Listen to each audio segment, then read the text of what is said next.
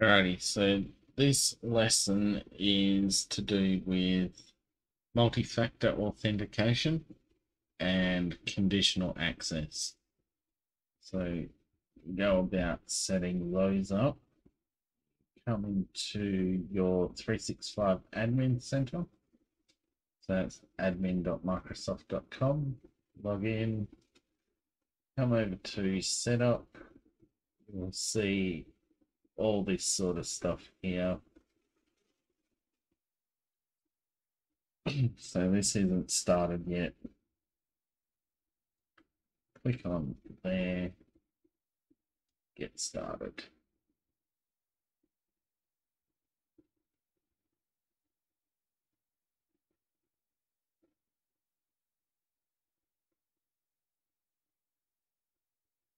All right, so enforce multi-factor authentication.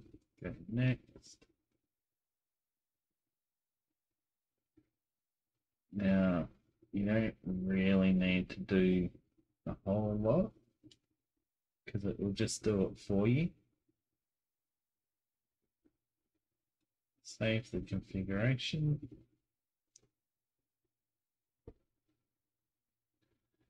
So basically what this is doing, it's configuring our MFA template. All right, so require MFA for admins. No legacy sign-ins that don't support MFA are allowed. External and guest users must use MFA and internal users except for admins must use MFA. All right, go next.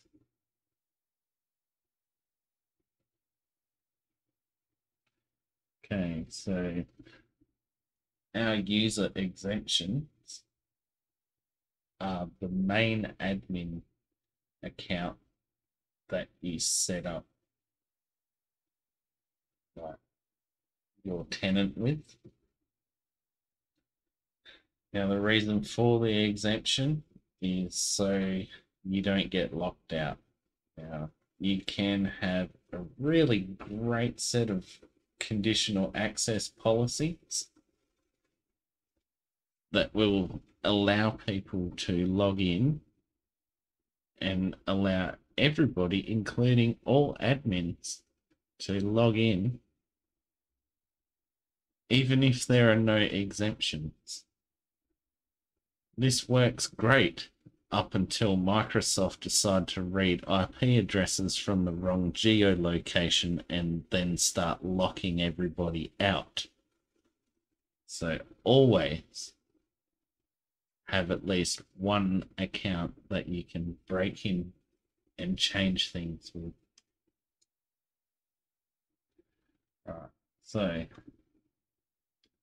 manage conditional access. Let's open a new tab if we can. No, we'll just hit done.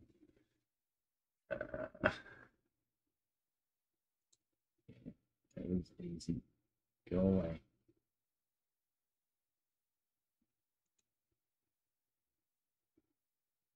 Okay, so that one is completed. You can see under here. That's now completed for conditional access, your identity.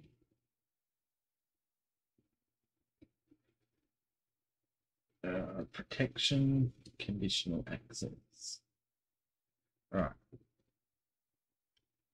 Okay, so we've got five policies now enabled. These are all ones that we just configured with that last setup that we did. All right, so let's take a look at what it's done. right, so specific users included and excluded. Right, so select directory roles. It's picked 21 of these roles for us. And you can see global administrator is in there. Good. We don't want, we don't really need it for that account.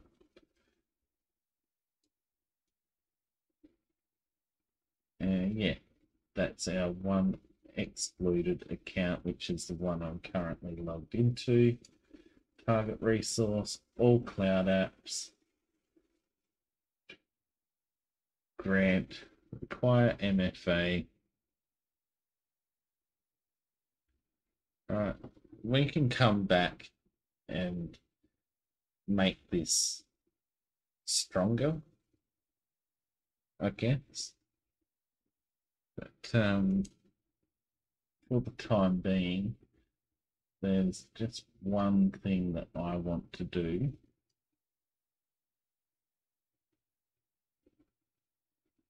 So you pick country's location. I'm going Australia because that's where I'm from. Include unknown And there you have. Now we can come back to our policies.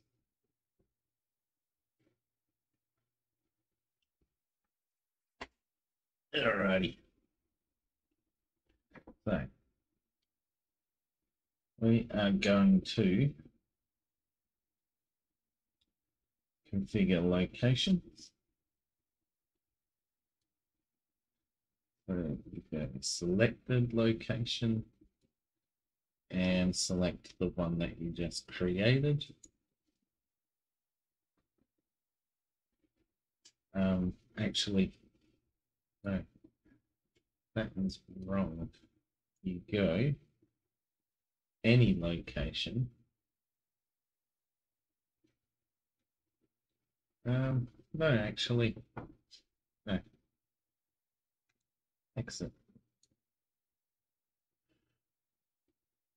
we need a new policy. Um,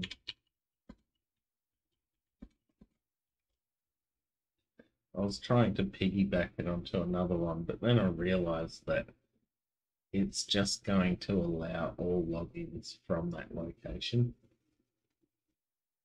You can do that, right? So I'll just use a made up IP address to show you how you can do that.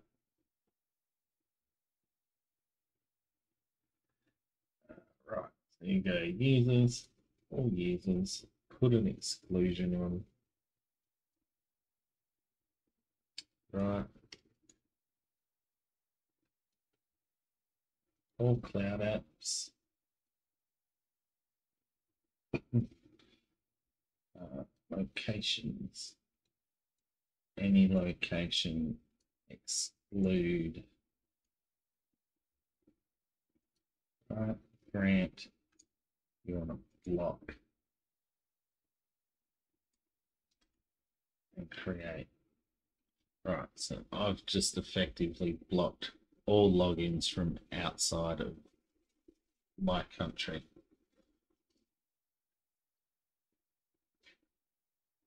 Uh, right.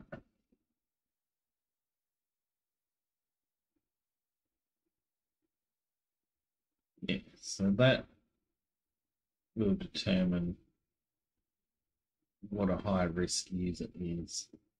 So you got risky sign-ins. They're ones that are like admin level sign in, logging in from a new location. If it happens too frequently, they'll be upgraded as a high risk user, as will people who constantly get their accounts phished.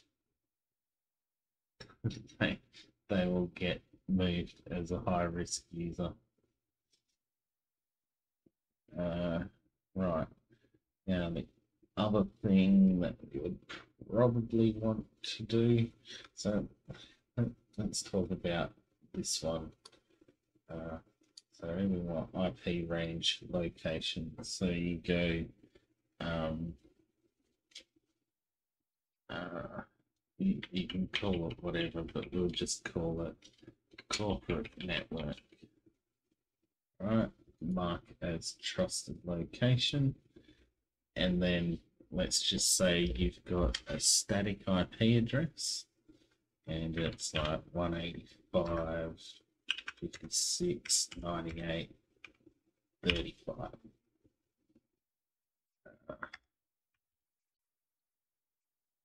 Right, you want to put this little slash 32 at the end tell it that it's just that IP range.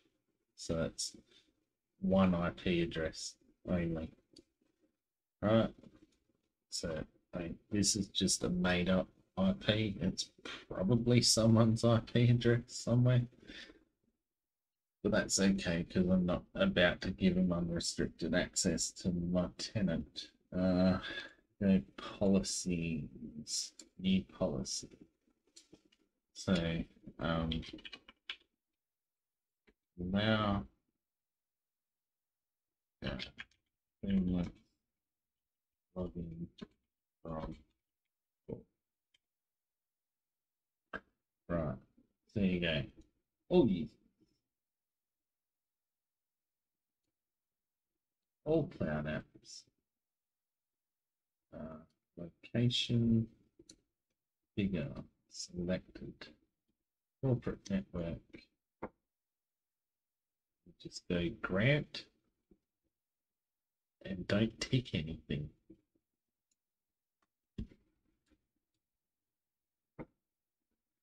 Right.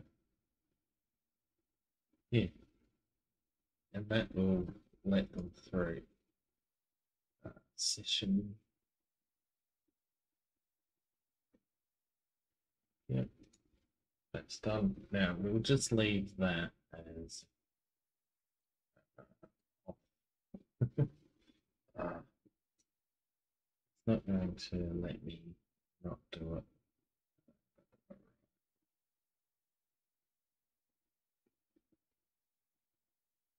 it. Okay.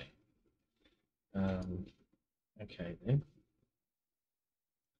So it's not a new policy would just do it from here then. The conditions, locations, and then you hit the exclusion and hit that. Alright.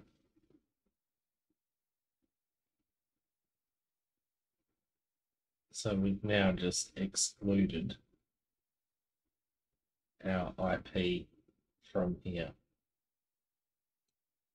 you would hit save, but I don't want a fake IP address gaining access to all this unrestricted without MFA. It's kind of a silly thing to do anyway, but you know, if you're an admin and you know you're constantly logging in and out of something it, it's very cumbersome and tiring to have to multi-factor your way through everything. Like,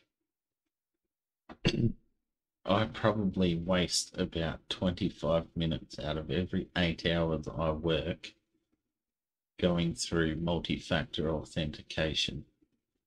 That is just, it does my head in. It's a daily thing that gets me. So if you want to, uh, you can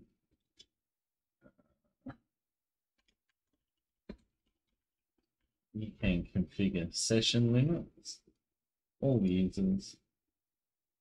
Um, well, we're not really locking anything. We don't need any exclusions. But we can go all cloud apps. Go locations.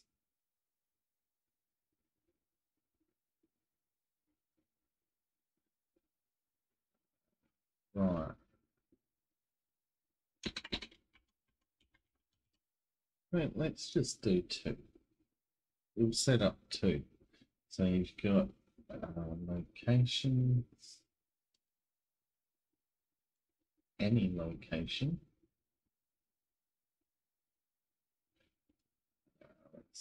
Client apps. We don't want legacy anyway. These ones, browser and mobile, desktop. Right.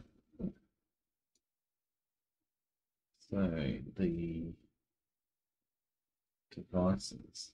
Uh, right. So if the device is compliant equals false. So that just means it's not a device that's been managed as well. So like you can allow a managed device to just scroll on in. it's good. Um, right, so uh, grant access.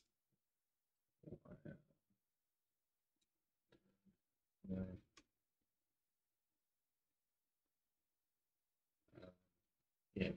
do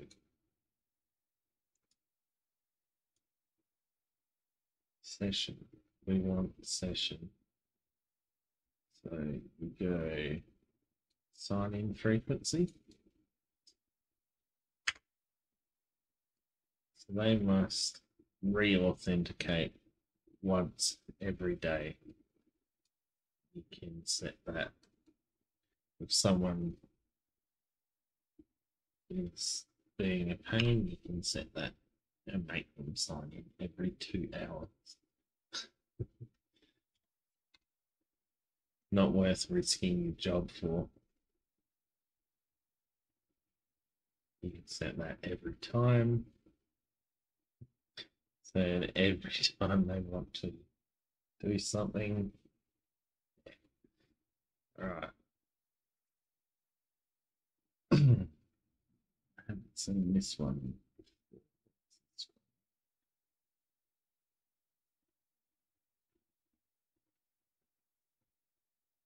Yeah.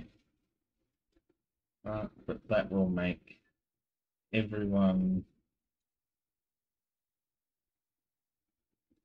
Yeah, that will make everyone who's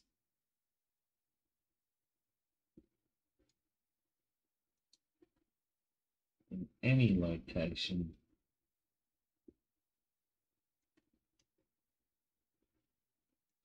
have to sign in once every day. Right. And then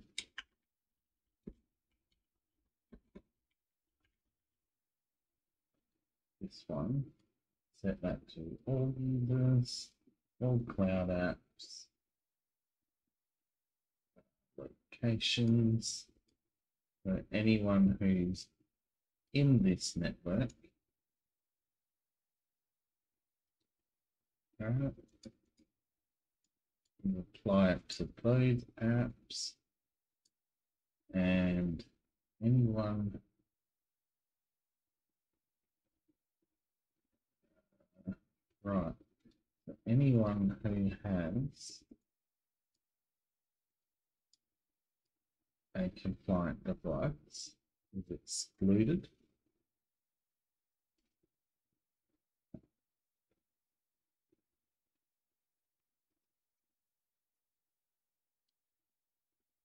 I'm gonna have to go back and check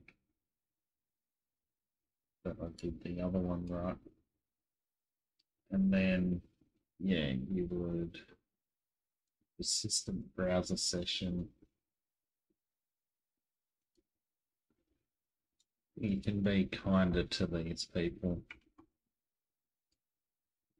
Make them sign in once every two weeks.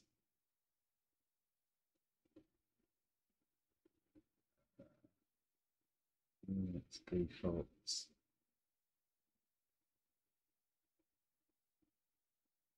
Yeah, we haven't set up with resilience, so I'm going to leave that as report only.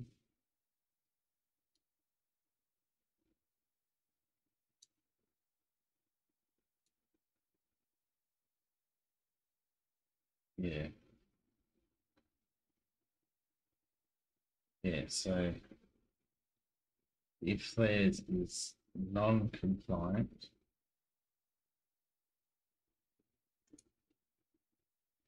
then may have to sign in every day. Uh, what have we got here? Um, yeah, we want to include on this one. So if it is compliant,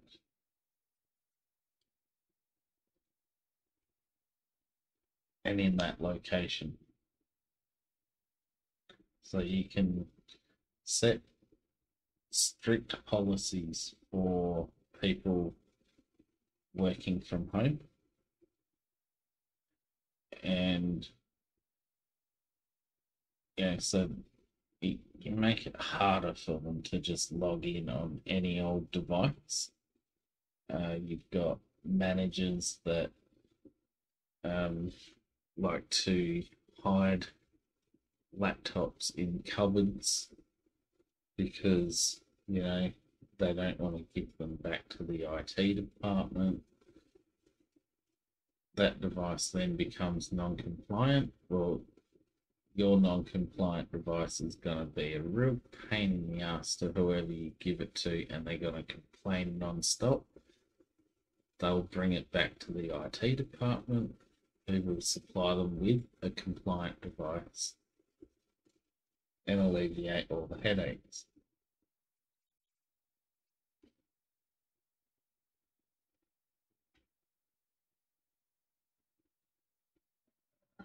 Right, that pretty much covers this topic. It's a very basic overview, but um, I mean, your conditional access is basically this. what do you want it to do? Who do you want it to include? Who is excluded? All these. What do, do you want them to maybe just do you want them to maybe just log into 365 apps and that's okay.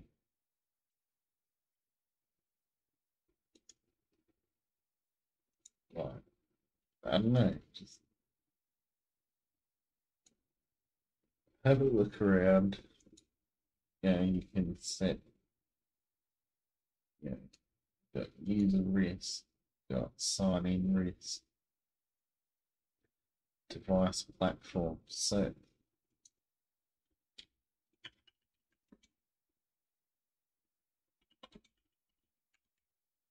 yeah, all right. So you can just go iOS, iOS, Mac OS, done. Right. Block. Done. Now nobody can use their shitty iPhones on there. Yeah, I mean, it's report only, so it can, it, it will allow it, but it will report it.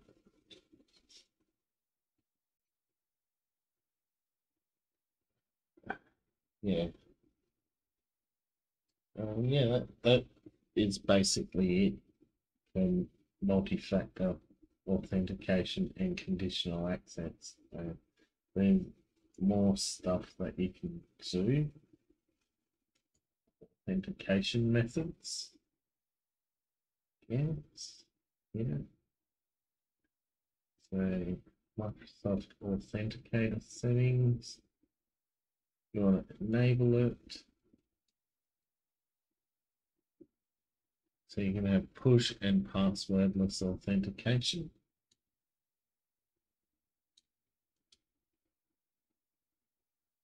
Uh, you can enable the one-time password. All right, number matching, you don't get a choice with number matching anymore.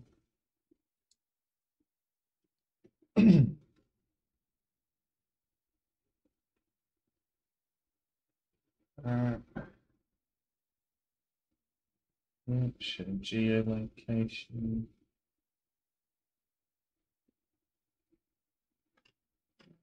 Cool. Target all users. Alright, so I've just set up and enabled Microsoft Authenticator.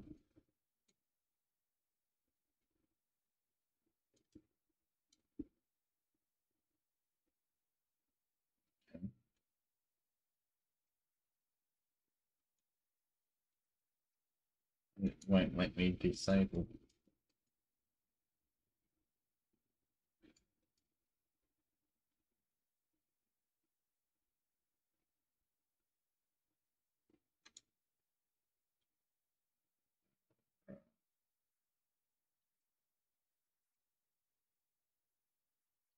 Temporary access. Hmm. There. I guess because yeah, there we go. Yeah, we haven't targeted anybody. So we just turn that off. Because email addresses can be compromised quite easily. People are all too willing to give their credentials away. Uh, right. Password protection. So you can lock people out, you can ban particular names from being allowed as a password. Registration campaign. Right. Set this to something higher. Uh, add an exclusion. Um, you want to put that on your service account. Auth method. Auth.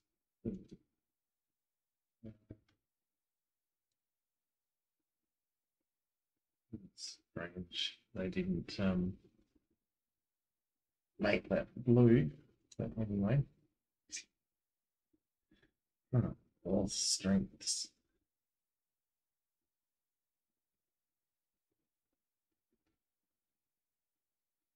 Microsoft phone sign. Microsoft Authenticator. Right, this is a custom policy that I made earlier.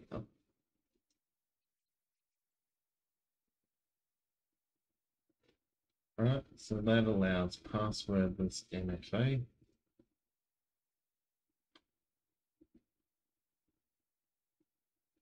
And that's it. Okay. There's already a passwordless MFA. Eh?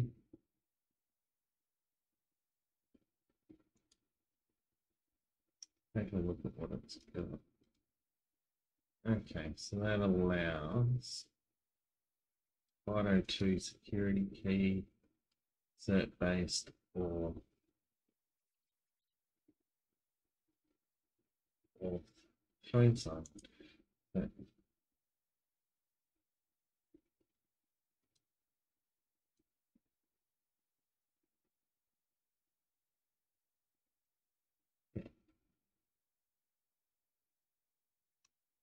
Okay. Allow. We come in and enable Windows Hello, that'll work.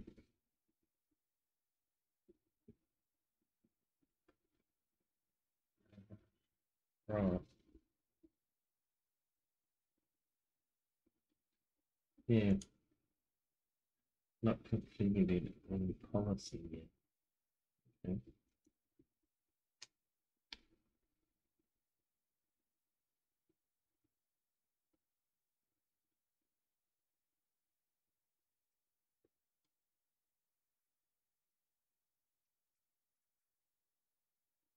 Hmm. Where have they changed that?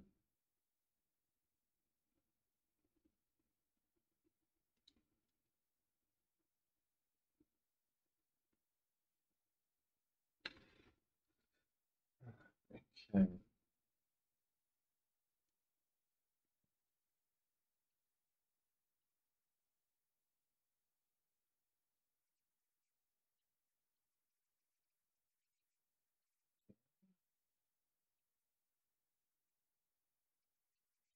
If I'm not capable. Right, okay. Um, this is another one as well. Self-service password reset.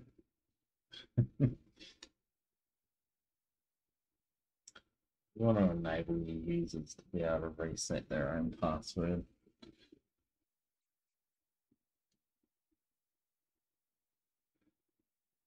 And you just set up.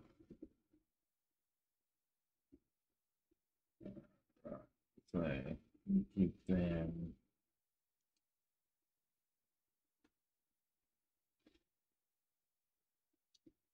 I just need to choose two out of four available methods.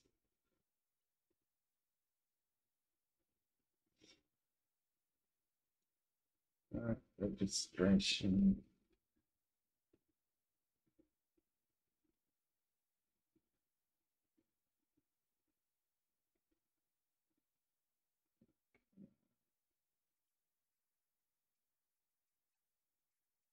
Yeah.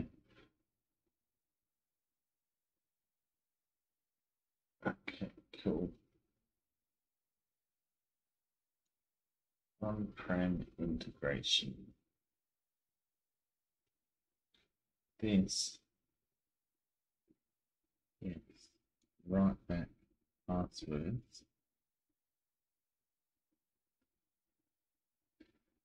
Then we need to get the provisioning agent and set that up as well.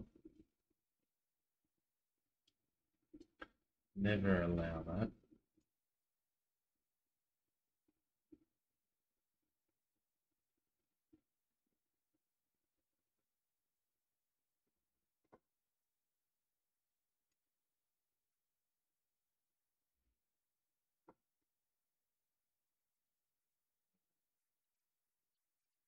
You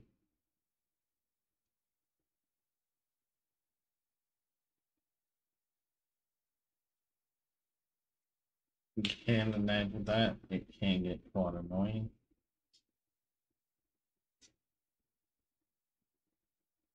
But if you're doing this and you've only got a small amount of users and you know they're all run by you, do it. Because if that password gets reset and you didn't do it, will you get notified? Right. Custom attributes. There later.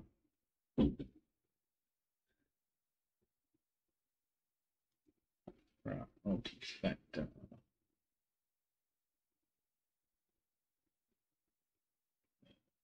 Don't think that's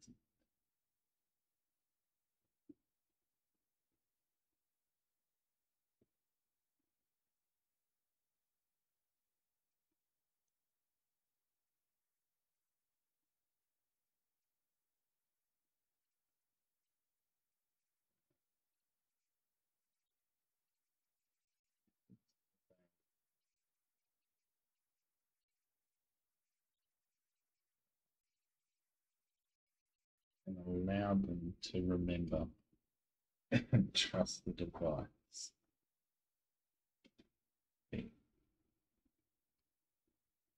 That you want to do.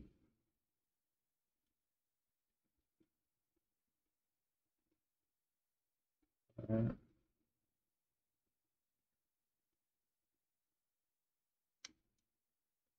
Cool. That pretty much covers all that.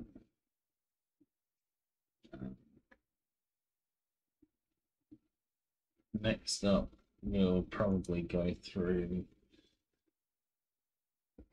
the identity secure score and go through configuring all this sort of stuff. Uh, like we see, do not expire passwords. I've already completed that. That's just how I set that up because um, it's just dumb forcing people to make a new password every 45 days or whatever some insurance dickhead decided. Enable password hash sync hybrid. Already done that. Policy to block legacy authentication. We set that up just before. Uh, let's see. Okay. It can take up to 48 hours before these changes even show. Um, but we've set that up.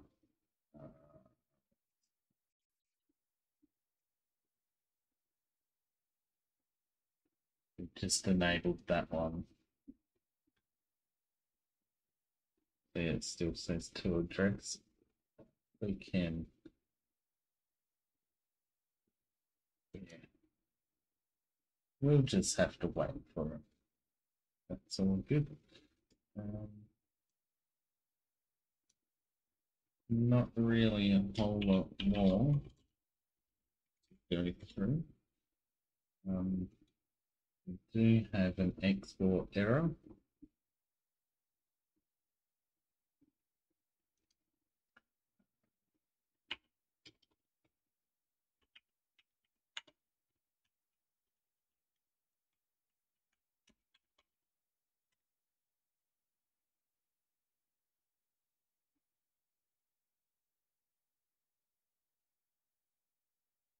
Don't know if it sorted itself out and saying a permission issue.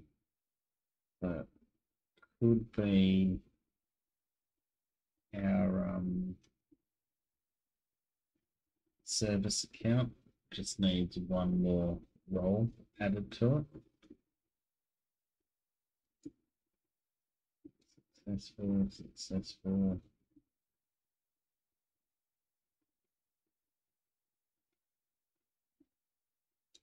Yeah, so that was successful and then uh, error.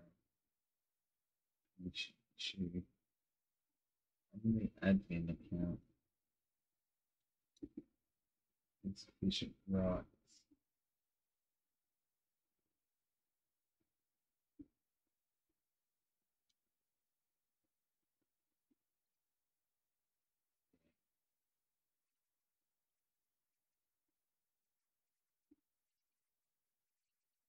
That's okay, that's no big deal. We can sort that one out later. It's most likely to do with uh, most likely to do with this account not having enough access to modify this account. So it's a hybrid identity administrator. We were to make that a user administrator.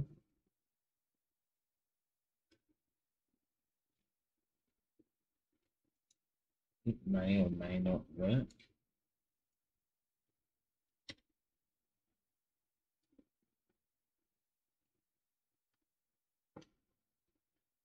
and we'll soon see.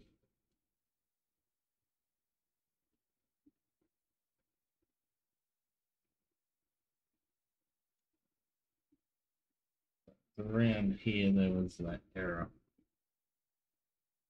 Back in its export phase. Yeah.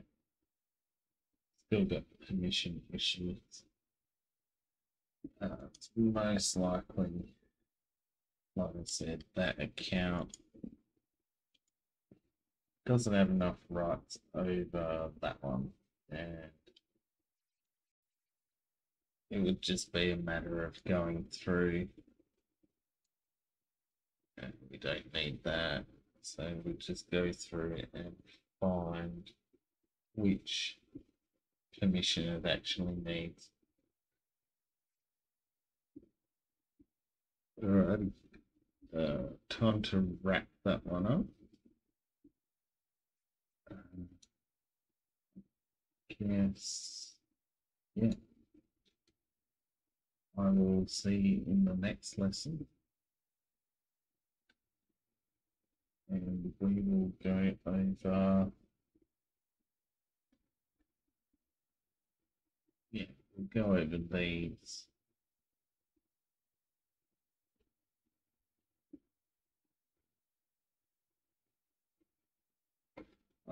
Alright, designate more than one global admin.